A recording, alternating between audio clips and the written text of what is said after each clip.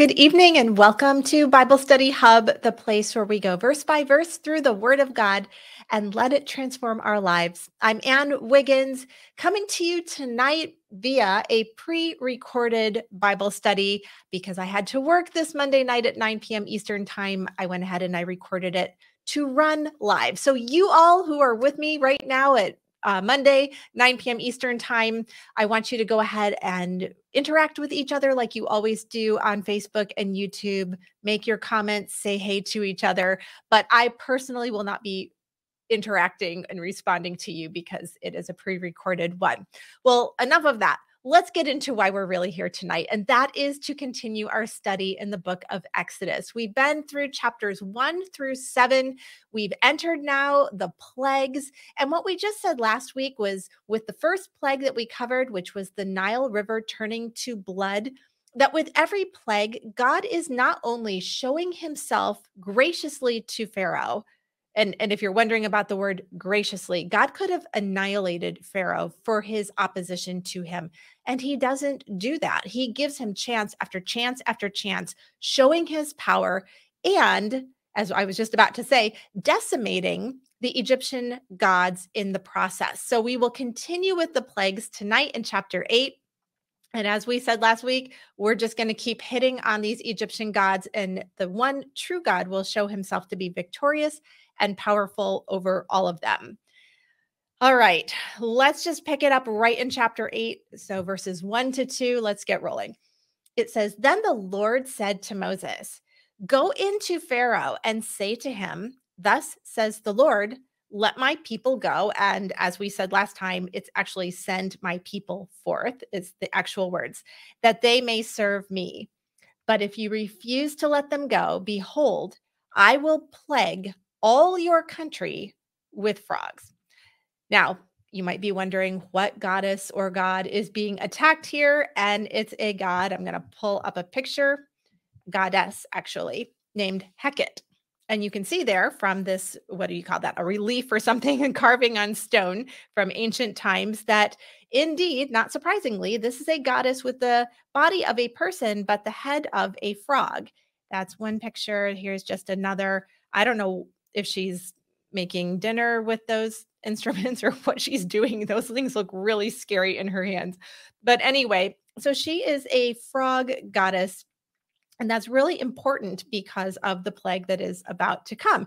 So she was the goddess who represented like fertility, creation, pregnancy, childbirth. And in fact, the Egyptian women were so concerned with making sure that they pleased Heket, especially when they were pregnant or giving birth to children, that they would actually wear little um, amulets around their necks with uh, a picture of a carved picture of this frog headed god. So they really, really revered Heket and they felt like she was important for their national fertility and also for their personal fertility and safety in pregnancy and childbirth.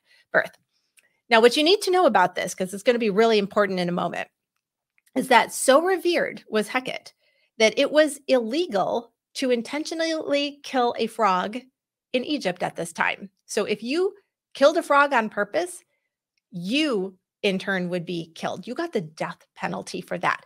That's how serious they took this goddess. And this is part of the reason I'm sure why God chose frogs as a plague. He didn't just pull these things out of nowhere. What would be fun today? I don't know. Let's do frogs.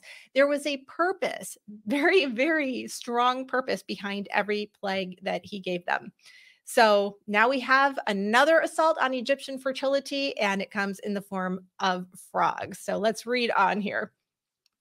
It says, The Nile shall swarm with frogs. By the way, the Nile, as we read last time, had everything had died in it. So this is even a, like a next level miracle because now all of a sudden the Nile is going to spawn frogs out of nowhere.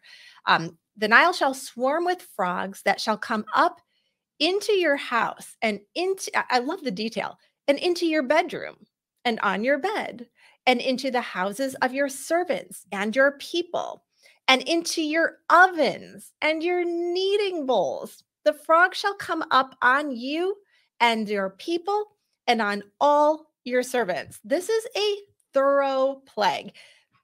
I want to tell a quick story here about frogs. This will probably make you laugh. Don't don't laugh at me too hard, but it's a true story. Happened about maybe 9 years ago, 10 years ago. We were pretty new to Pennsylvania where we had just moved we had a friend come and visit and he wanted to go to see Philadelphia, of course. And so it's about an hour from where I live. So we we took off on a Saturday. We went to Philly and we did all the sites, you know. And he really wanted to go to Chinatown for some reason. And so we thought, well, we've never been to Chinatown before. That sounds like fun. Let's go walk over there. So we did. And there was this tiny little Chinese, like authentic Chinese market on um, a, a really steep corner of, of a street. And I said to my husband and our friend and our kids, I said, Oh, I want to go into that market. And they were like, You do? Why do you want to go in there? I said, Oh, I love that stuff. I mean, they've got all this cool stuff that you never see anywhere else. I would love to go into the Chinese authentic market. And there was this tiny little Chinese older lady standing outside. I don't know why she was out there. She's probably waiting for somebody. And she was overhearing me explain this to my husband and family. And she looked at me and she just shook her head. She had a very thick Chinese accent and she said, You're not going to like it in there. You are not going to like it in there. And I said to her, I was a little offended. I said, No, I, I will like it in there. I love the multicultural stuff. No, like I can handle this. And so uh, we we go into the market. My kids come in, my husband, we all go in, and it was a really tiny little market, kind of in a U shape, and they had shelves lining the outside walls. And then down through the center, all they had was big. I think there were plexiglass tanks, and these tanks were full of frogs, live frogs. I mean, frogs upon frogs, and the frogs were like, like you know, climbing over each other and kind of lethargic. And some of them were like, ah. And all of a sudden, I, I felt it. I felt the vomit. it was coming. And I gagged and I had to run like a crazy woman out of the store. Like I was knocking people out of my way because I thought I was going to throw up on the frogs. And I run outside and I'm kind of, for if you're wondering, I didn't actually throw up. I managed to hold it in, but I was, came out gagging and kind of heaving. And the little Chinese lady looked at me. She said, I told you, you were not going to like it in there. And I was forced to admit she was absolutely right. So, the reason I tell this story is because until that moment, every time I read this story, I mean, it just sounds like, ooh, frogs, ugh, gross. You have no idea how gross this plague is. I cannot fathom how freaky would it be that, and, and you saw the detail, it's in your bedroom you pull the covers down. There's frogs in your bed. You go to lie down. You're covered in these frogs. You go to eat. They're in your bowl. You go to take your bread out of the oven. Oh, there's frogs in there. They're everywhere. They are crawling on you. They are crawling all over your stuff. Ooh, it just gives me kind of like bad goosebumps even now because of my experience in that store. And to make matters worse, the people can't do anything about it they can't kill the frogs. They're not allowed to. And even if Pharaoh said, okay, we're going to put a moratorium on that rule, go ahead and kill the frogs, um, they're too afraid to kill the frogs because even though the one true God is showing now over and over, and he will continue to do this for a few more plagues, that he is superior over all their lower case g gods, they are still concerned about the ramifications if they assault Heket, the the frog goddess. And so they're up a creek with no paddle here. There's frogs everywhere. They can't do anything about it. I assume that they're throwing up and getting sick just because of my experience with it. It's just so utterly disgusting. You can imagine the children just frantic and crying. And what are you going to do? This goes on for a while. This is the situation that Pharaoh has created because he's hardened his heart toward God and he opposes him.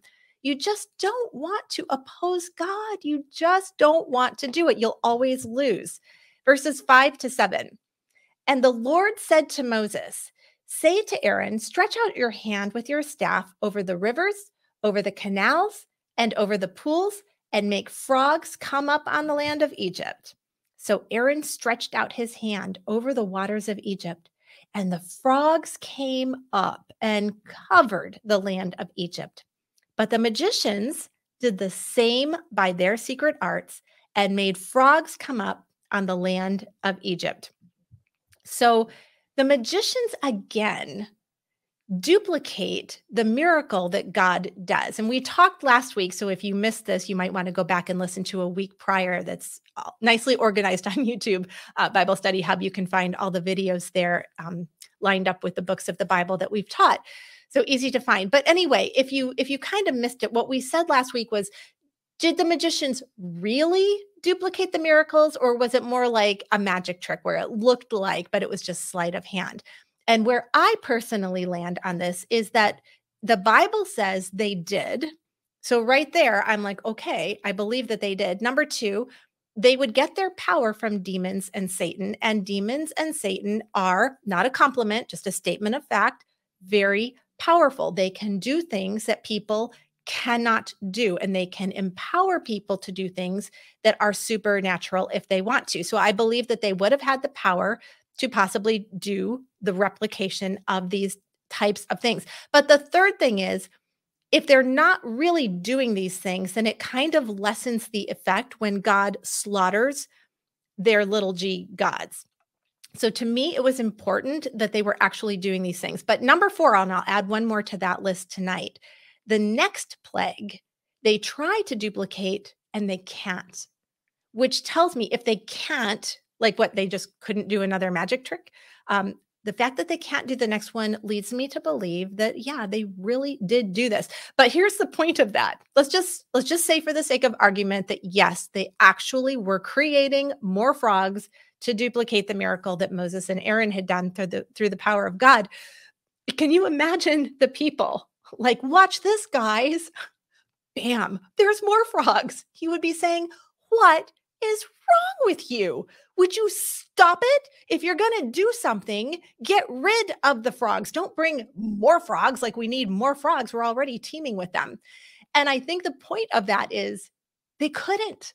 They couldn't get rid of the frogs. So they could duplicate creating the frogs and making the problem worse, but they had no ability whatsoever to solve the problem. They couldn't undo what God had done. They could simply counterfeit, sort of, the miracle. What an excruciating experience this had to have been.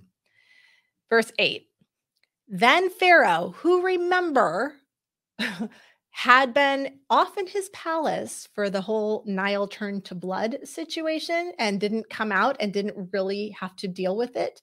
That same Pharaoh is dealing with the frogs. And look at his response to that. Then Pharaoh called Moses and Aaron and said, Plead with the Lord God to take away the frogs from me first and my people, and I will let the people go to sacrifice to the Lord. Hmm. Interesting. Yeah, Pharaoh's had enough. He he says, um, this is kind of getting to me now. And so I don't like it. And so I'm going to ask you to take the frogs away from me and my people. And I just thought to myself, isn't it interesting how people don't change when other people are suffering? People only change when they themselves are suffering. And so God needed to make sure that that happened to Pharaoh, and he did. Moving on to 9 to 11. Moses said to Pharaoh, Be pleased to command me when I am to plead for you and for your servants and for your people that the frogs be cut off from you and your houses and be left only in the Nile. And and he said, uh, tomorrow. Okay. Moses said, Be it as you say, so that you may know that there is no one like the Lord our God. The frogs shall go away from you and your houses and your servants and your people. They shall be left only in the Nile. Okay, I don't know about you, but when I read that, my first thought was, tomorrow? what is wrong with you, Pharaoh? You could have said, oh, please, right now. What, like, when is your next break? Because on break, if you could just squeeze that in for me, please, let's just get that done ASAP. And he doesn't do that. Here is the reason I believe why this whole little exchange. I don't know if you caught it, but when when Moses says, um, be pleased. Eh, don't miss the sarcasm here. Moses is mocking Pharaoh and he's mocking Heket, their little frog god, because when he says, I will plead with the Lord to cut off, the translators nailed it. It means cut off, like cut down, like mow down, like chop. It's it's a you know, it's a violent word. And so here's here's what's going on. Moses says, "Oh, Pharaoh, it will be my pleasure to ask my God to annihilate your little gods. When would you like it? We can do it anytime you feel like it." And I'm sure it just frosted Pharaoh to be made fun of and to have his Heket, God, be the one who was going to have to go down. I mean, Moses could have said, Let me pray to the Lord that he'll just, you know, poof, and all the frogs just gone, just disappear. But he doesn't because it's very important that the frogs, who is illegal to kill them, all of them are going to get slaughtered by God at the same time. So, Pharaoh, I'm sure in his fury, but he needs something from Moses. He can't leave it like this. So, he can't just say, Never mind. He's like, Well, then let's just do it tomorrow. Like it's not a big deal. I'm fine. Everything's good. Yeah, it's not a it's not urgent. we'll just do it tomorrow. And in doing so, he made it worse for himself and for the people. Let's go on to verses 12 to 14. So Moses and Aaron went out from Pharaoh, and Moses cried to the Lord about the frogs as he had agreed with Pharaoh. And the Lord did according to the word of Moses. The frogs died out in the houses, the courtyards, and the fields. Are you picturing this going on? And they gathered them together in heaps, and the land stank. But when Pharaoh saw that there was a respite, he hardened his heart again and would not listen to them as the Lord had said. Well, the people have to be freaked out. And did you catch what they did? They they start getting their little Egyptian bulldozers, you know, you can just picture this. They're driving them with their little chariot bulldozers and they just start piling the frogs that are now dead and rotting and the flies and the stench and all of it. And they're just piling up piles and piles and piles of these dead, disgusting, decaying frogs. And you might be thinking, well, why didn't they bury them? I mean, you're in the desert, you know, dig a hole dump the frogs in, cover it up, or get a great big rip roaring fire and start throwing barrels of frogs into the fire. Like, get rid of them. What were you thinking? Well, you probably know what they were thinking. They can't burn these frogs up. They can't bury these frogs. I mean, they can't do anything. Their hands are so tied by these stupid frogs because this is like the patron animal of their god Heket. And Heket's responsible for their pregnancies and their births and all of these things. And they don't know what to do. So the frogs are all dead. So this is not a good scenario. This doesn't bode well. But the last thing they want to do is make it worse, like make the goddess matter by burning all the frogs or burying all the frogs. So they don't know what else to do. They just pile them up. Now you've got like a biohazard. And you can only imagine the smell and the, the infestation of flies and bugs and disease that would come from something like this until they finally rot on their own in the sun. Absolutely amazing. What a victory for the one true God, too. Let's not miss that either. Praise God for his power and that he always wins. He's never got his hands tied, he's never handcuffed to anything and he's gracious and loving and forgiving. And even in this, the plagues are shots across the bow. I'm the one you want to worship. I'm the one you want to um, believe in, not these little gods. I'm decimating them. Let that mean something to you. So he is gracious even in his judgment in this point. Verses 16 to 19. Then the Lord said to Moses, Say to Aaron, stretch out your staff and strike the dust of the earth that it may become gnats in all the land of Egypt. And they did so. And Aaron stretched out his hand with his staff and struck the dust of the earth. We're in a desert. So picture this desert. dust is everywhere. And there were gnats on man and beast. All the dust of the earth became gnats in all the land of Egypt. The magicians tried by their secret arts to produce gnats, but they could not. So there were gnats on man and beast, so people and animals affected alike. Then the magicians said to Pharaoh, This is the finger of God. But Pharaoh's heart was hardened, and he would not listen to them as the Lord had said. So let's run over and let's take a look at this God. This God's name is Geb.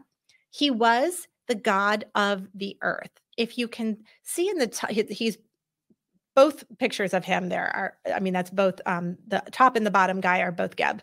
Um the top guy has those little um rings uh, that look like a cross with a loop at the top of it. And my producer josh informed me that those are called ankh and they are like the symbol of eternal life. So you see those a lot in the egyptian pictures and i always wondered what those were so thank you josh for filling me in on that.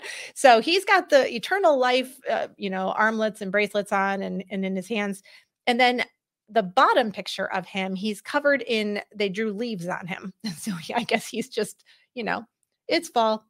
He was rolling in the leaves. I don't know what he was doing. But anyway, he was a big deal because he was like the god of the soil. And of course, the soil is important for the crops, which are important for life and all of those things. So he was kind of a big deal god as well, small g god. Here's the thing what we translate as gnats is a word that we kind of don't know exactly what it means. And and this is pretty common when you're talking thousands of years ago. You know, was it gnats? Was it lice? Was it ticks? Was it fleas? All we know is it was some very very small insect that it was really terrible for the people. So I tend to think of it, it was probably more like lice or fleas or ticks or something that would be like attaching themselves to your skin and and biting you or sucking your blood, mainly because gnats are truly annoying, but all they really want to do is fly in your eyes, you know. So if you can cover your eyes, you can kind of deal with the gnats. Lice, on the other hand, oh no, please not that. Ticks, absolutely not. Fleas, mm, another really bad one. And you notice from the pictures that the Egyptians often shaved like all their body hair. They were very clean cut people, if you want to put it that way. Part of the reason, I'm sure it was partly aesthetic, like that was how they liked to look. But practically speaking, they did it because in these days, of course, lice and fleas and ticks and all of those things were a major problem. And where do those things like to go? They like to go in hair. So they would keep their bodies uh, and their heads very much shaved on purpose so that there was really no place for these things to go. You'll notice too, it says that the animals were also infested, which also makes me think it was probably something um, more along the lines of a blood sucking or biting insect. So the people, I picture them itching, scratching. We're getting skin diseases probably from these types of things. The animals are absolutely miserable. And there's just so many, so many swarms of these types of little insects.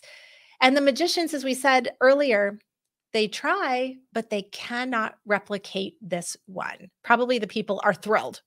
Finally, they can't do it. Now, did God just stop it from happening because he was just done with it um, and, and took that power away from them? I don't know. We're not really told. We're just told that they can't do it. And all of a sudden, it dawns on them. Like it took this many plagues for them to get the message Hey, Pharaoh, we're dealing with something that is not one of our gods. This is the finger of God, it's the finger of another God.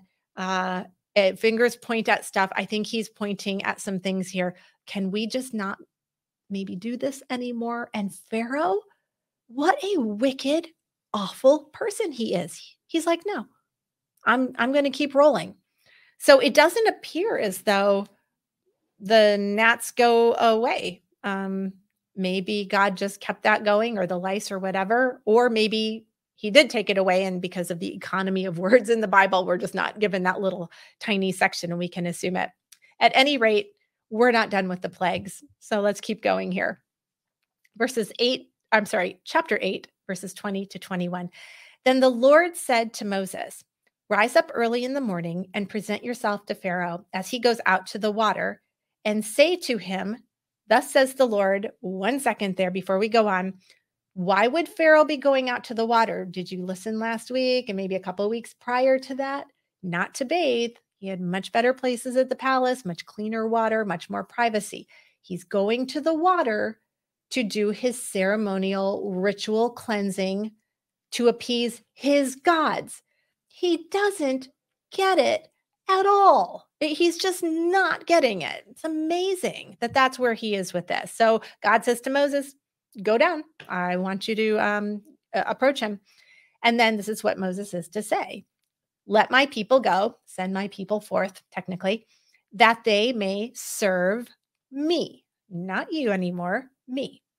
Or else, if you will not let my people go, behold, I will send swarms of flies on you and on your servants and your people, and into your houses, and into the houses of the Egyptians shall be filled with swarms of flies, and also the ground on which they stand.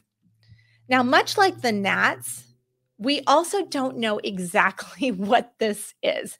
Eh, but I think this is even more fascinating because the part that says of flies is nowhere in the original language. The translators added that to the text, it's not there. In fact, swarms isn't even exactly the word. The word is just simply mixed. I know. Mixed what? That's the problem. We don't know. It just sends it says I'm going to send you mixed. And the mixed are going to be in your house. And so we have to sit back and go, okay, so we don't know exactly what this is. And a lot of commentators say, oh, we think it was wild animals. And, and others are like, no, it was definitely flies. Okay, we don't know. So here's what I just decided to do. Uh, first of all, I'm postulating here. I don't know either because I don't know what exactly he means by mixed. But I did think to myself, okay, every single one of these plagues, as we've said, attacks a certain deity of the Egyptians. So it would stand to reason that whatever this is would be a really big deal for them, some deity. The other thing is, we haven't read it yet, but when we get to verse 24 here in just a moment, you're going to see that it says that whatever this mixed was ruined the land.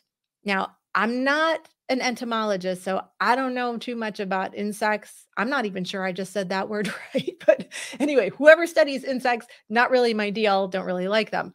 But in my opinion, flies typically don't do a ton of damage to land. So, what would swarm or be a, a, mixed group of the same type of thing, but just mixed group, and would also ruin the land? Well, here's a possibility. The god Khepri. Now, you can see on that god Khepri that seems to have oh he's holding the that eternal symbol too the symbol of eternity. I see that. Um you can see his head is this disgusting what is that a stag beetle or something? He's a beetle headed guy. So khepri was the god with the beetle head who created small suns. What does that mean? Is it stars in the sky or I, I, don't know. But their sun god ra was like the big cheese god like he was the number one god. So that the fact that this little g god would honor their main god was a big deal to them. I'm going to show you another picture. This is partly why they honored this beetle headed guy so much. This is a picture of a beetle over i presume in that area of the world and what these beetles would do in Egypt is that they would take like plants and dirt and waste material and they would roll it into a ball where they would lay their eggs. And then you can imagine when the eggs hatch, of course, they come out of the ball. Well, they didn't know because it's so teeny, teeny, tiny that this beetle was actually laying eggs in the ball. In their minds, they just thought, this is amazing. This beetle creates life out of nothing. And look, he makes a small sun to honor Ra, the god of the sun. And so they really held this this Khepri god in high esteem.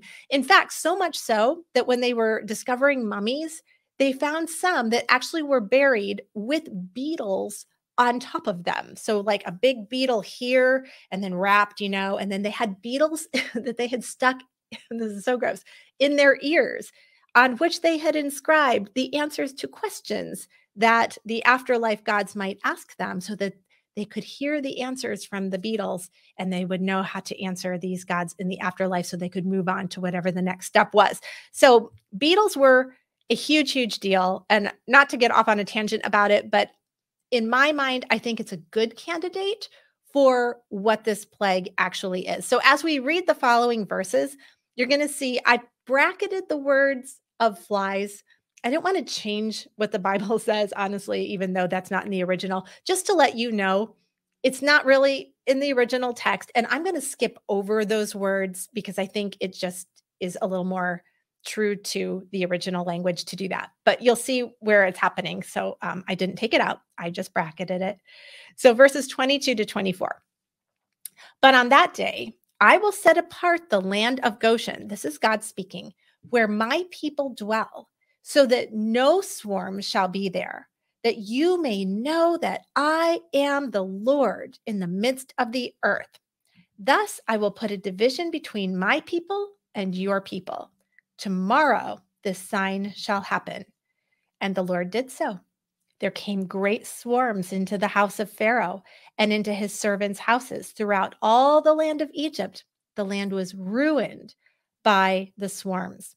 So God now supernaturally protects his people, which indicates to me that the other plagues, even though it's not stated concisely and clearly, did affect those people. And last week, a lot of you, when we were asking questions, uh, were saying, I think it affected them because they had been worshiping Egyptian gods and they needed to know who the one true God was as well. So God probably was utilizing this to really get their attention to prove that he was over those small g gods and more powerful and the one true God.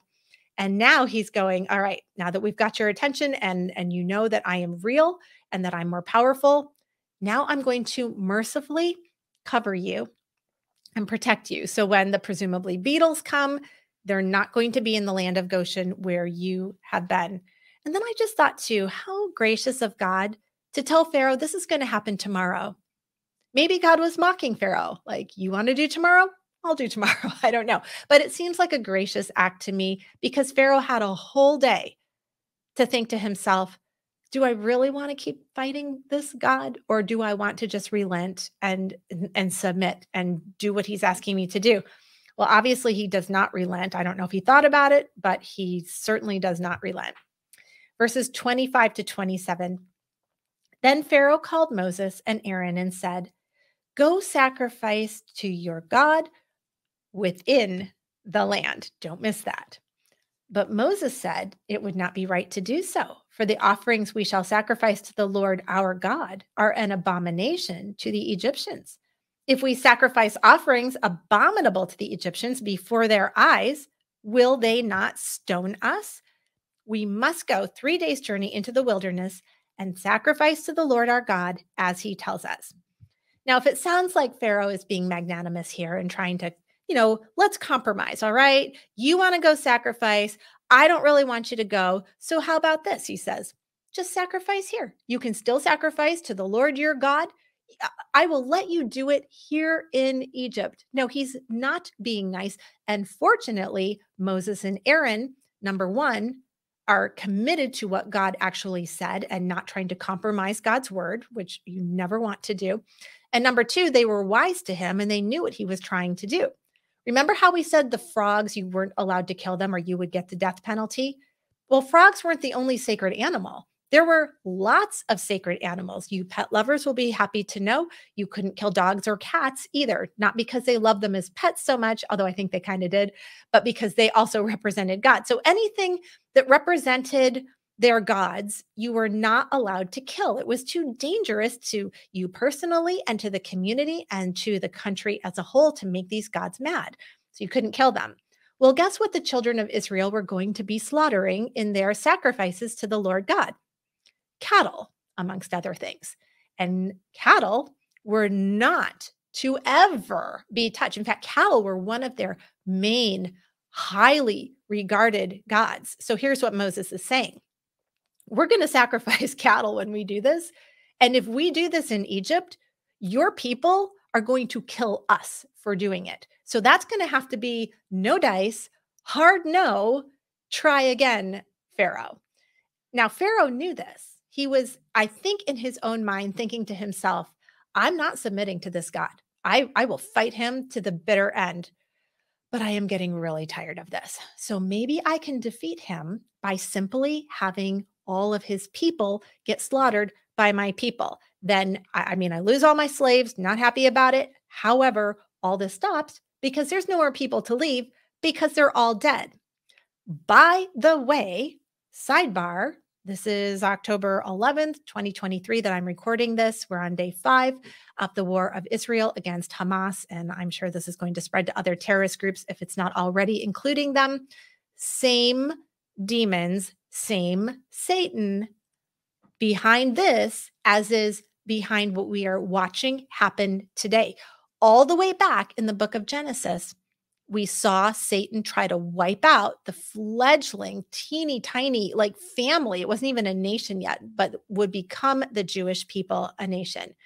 Tried to wipe them out then. He has tried over and over and over and over throughout the centuries and millennia to wipe them out and to take over their land.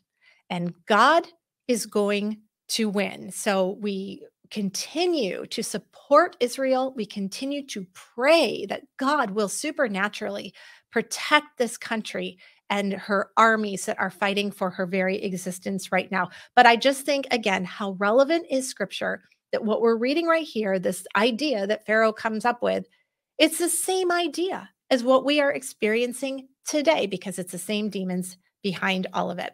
Well, anyway, Moses just says, uh, no, we're not going to do that. Sorry, no dice. Moving on to verses 28 to 32. So Pharaoh said, I will let you go to sacrifice to the Lord your God in the wilderness. Only you must not go very far away. Plead for me. We'll address that in a minute. Then Moses said, Behold, I am going out from you, and I will plead with the Lord that the swarms may depart from Pharaoh for his servants and his people, I'm sorry, from his servants and from his people tomorrow. Only let Pharaoh not cheat again by letting the people go to sacrifice to the Lord. So Moses went out from Pharaoh and prayed to the Lord, and the Lord did as Moses asked and removed the swarms from Pharaoh and from his servants and from his people. Not one remained. But Pharaoh hardened his heart this time also and did not let the people go. I think Moses gives Pharaoh just a little tiny taste of his own medicine because Pharaoh's like, okay, okay, okay, um, you can go, but just not very far. Did you notice Moses doesn't even respond? Not every pitch do you have to swing at in life. You know, sometimes you just bulldoze it right over. And that's what Moses does here. He doesn't say, well, I'm let's get back into the negotiation phase. Moses is done negotiating. In fact, he didn't even start negotiating. This is how it is. This is what God says. If you want to try to massage it and you want to try to compromise it and you want to try to change it, that's on you. I'm not even going to talk to you about that. We are leaving. We are going to do what God said. And God is the master over this entire situation, not you and not your gods. And he kind of puts Pharaoh in his place. And he says to Pharaoh, You're a compulsive liar. Stop doing that. This is not okay. You need to actually let the people go. And of course, Pharaoh has no plan whatsoever doing this. You know, we sit back and we look at Pharaoh we go, How stupid was this guy? But the thing is, he wasn't stupid. He's already exhibited some pretty good thinking skills. I mean, we just saw one right now where he's like, I know how I can fix this. I'll let them sacrifice here. He's strategizing. Um, back a, a while ago, he was doing the very same thing where he was turning the people against Moses and Aaron by punishing them instead of by punishing Moses and Aaron so they wouldn't get together and try to get out. So he's a good strategist and he has a high level of intelligence. You can see that here. What he is, is foolish. And often, highly intelligent people, not always, but often the highest intelligent people are the fools. Because a fool says in his heart, There is no God. Or in this case, he acts like there is no God. In the face of overwhelming evidence that A, there is a God, B, he is stronger than your gods, and C, he is going to get his way, he continues to oppose him. So, the thing I just want to leave you with this week is we asked this a couple weeks ago, but it's something I, I constantly go over in my own heart. Is there any area of my life where I am acting in opposition to God? Hopefully, you know Jesus as your Savior. Hopefully, you are one of His children. You have come to Christ in repentance for sins and have cried out to Him to save you. He is your Lord and your Savior. But just because you've done that doesn't guarantee that there aren't points of time in our life when we act in opposition to Him, knowing that that is what we're doing. So I challenge you, I challenge myself with this as well. This week, let's just do a little heart inventory on our own lives. Lord, is there any area of my life where I'm acting like a fool? Where I, I know what you want me to do, and I'm just flat out either saying no or passively saying no by simply like, da, da, da, I'm just not doing it. I've done both in my life. It never ends well. The best thing we can do is to submit to God. It doesn't mean life will be easy, but it does mean that God will bless and lead you through whatever it is that you're going through. So let's just make sure that we keep soft hearts towards God and that we are always in submission to Him and never acting in opposition to Him. That is not a good place to be. Well, thank you so much for hanging out with me tonight. Now, next Monday night, which is October 23rd, 2023, we are taking the week off. We'll call it fall break. How about that? My work schedule just doesn't permit me to even record. I'm, I'm so busy. But we hope to come back the following week, Monday night, October 30th. 2023, 9 p.m. Eastern Time, live, I hope. And we will get all of this going again and we'll hopefully finish up the plague. So thank you again. I love you all. I pray for you. Let's be active on our Facebook group, Bible Study Hub, encouraging each other and praying for each other. And of course, you can always catch videos later on our YouTube channel, Bible Study Hub. I'll see you next uh, two weeks. I'll see you in two weeks.